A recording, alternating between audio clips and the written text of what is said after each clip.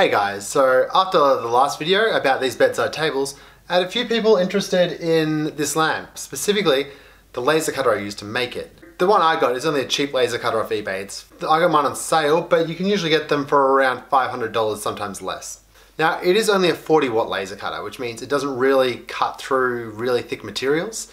So I thought, I haven't really tested what it can cut through. This is a great opportunity to do it. Let's have a look at it. So before I show you guys the laser cutter, I thought I'll show you how I actually make the files that I'm laser cutting. For these coasters, I use 96mm page size with a 4mm grid.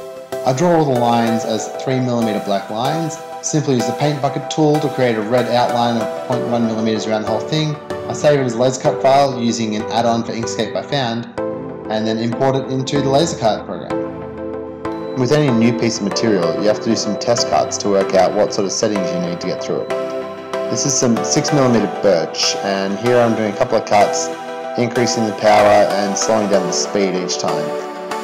It really pushed the limits of what this laser can do. I ran it at 90% power and as little as I think 2.5 millimeters per minute doing this testing. You can see this didn't even release all of the cuts. To prevent the scorching on the top, I put down a layer of tape.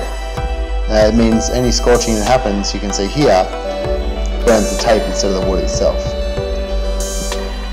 This is sped up quite a bit and even cutting it, I think this might have been 3 millimeters per second, didn't get through so I had to do another run over at a higher speed to try and loosen off all the cuts.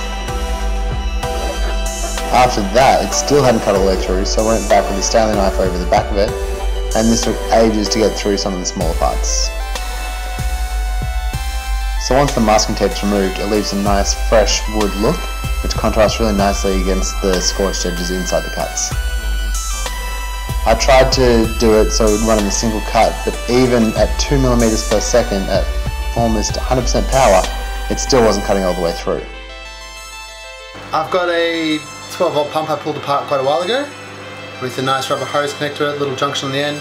I'll eventually try and set that up in there, but still to work out how I'm going to attach it. In the meantime, I'm going to try something else in the machine, some acrylic. I've only ever cut wood so far, so let's see how the acrylic goes. Again with the new material, I've got to do a couple of test cuts. So here I am slowing the speed down with each cut. It's running at 50%, which is a good baseline to cut at.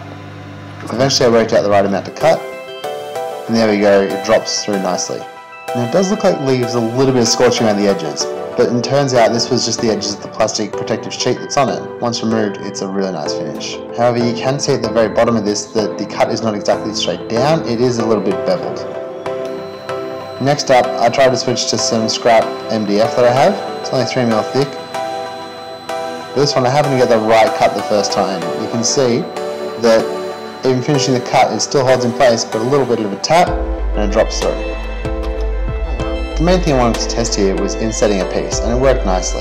You can see how the light shines through the blue material and gives a really nice glowing effect. This is something I want to use in a future project. So anyway guys, hope you enjoyed this video. I'm definitely happy with how I'm managing to cut the uh, 6mm poplar and the acrylic. I'm going to do some more work on it, mainly add a water assist, probably rebuild the whole exhaust system. Uh, I might put another video up when I get through all that, but in the meantime, thanks for watching.